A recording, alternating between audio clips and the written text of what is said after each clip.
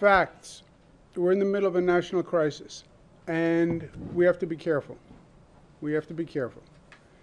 Uh, we have dark clouds on the horizon, and we've made tremendous progress. We've been through hell and back, but this is not over, and this can still rear its ugly head anywhere in this nation uh, and in this state.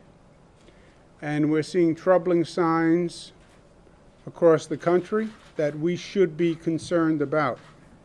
And I am concerned about them. The situation across the country is getting worse, it's not getting better. 35 states now see increasing COVID infection rates. Dr. Fauci, who tends to be a voice of reason, now says he wouldn't be surprised if he sees 100,000 cases a day. All they're doing, all these models are doing, is they're extrapolating from the facts they see today. Okay?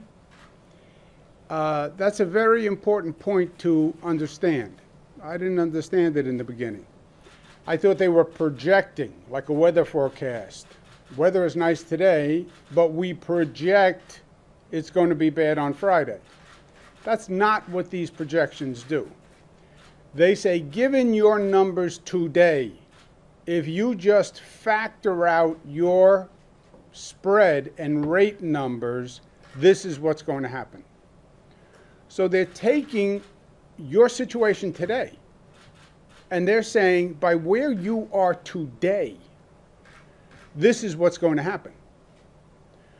So when Dr. Fauci says the death rate could go up to 100,000 per day, he's saying by the current rate of increase, it could go to 100,000 a day.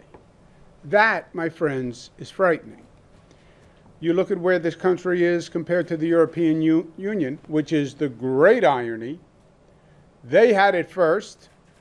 We got it from them and didn't know it. That's the story of New York. They are now on the decline. We're on the incline. And they have done a travel ban against us. Think about how ironic that is. They had it, they sent it to us, they dealt with it, we're going up higher, and now they ban us.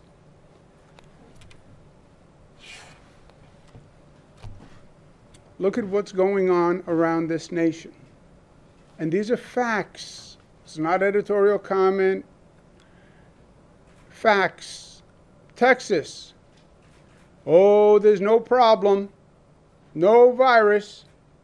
This is all a democratic delusion. Oh, the cases are going up. That's only because the testing is going up. Really? Then why are more people going into hospitals? People don't go into hospitals unless more people are getting sick. Fact. Arizona, states that were in denial, right? That underestimated the virus. Now they're all singing a different tune. Now they're all starting to say, we better take this seriously. We better start wearing masks. They're going backwards on their reopening plan, which is just what we talked about happening. You were in the room many times. I said, if you reopen too fast, what's going to wind up happening is you're going to have to close. And then that's going to be the worst situation. It's going to be the worst for the economy, it's going to be worse for people, and you're going to lose more people in the meantime.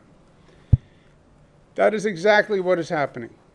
States are now having to roll back their reopening plan.